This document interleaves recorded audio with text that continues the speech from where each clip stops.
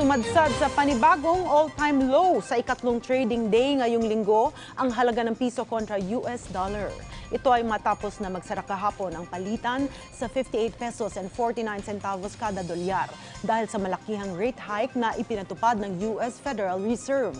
Ito na ang pangwalong all-time low ng piso na naitala ngayong taon. Kaugnay nito, ipinaliwanag ng Bangko Sentral ng Pilipinas na hindi lang piso ang apektado sa paglakas ng dolyar, kundi pati ang mga pera ng mga kapitbansa ng Pilipinas sa rehiyon.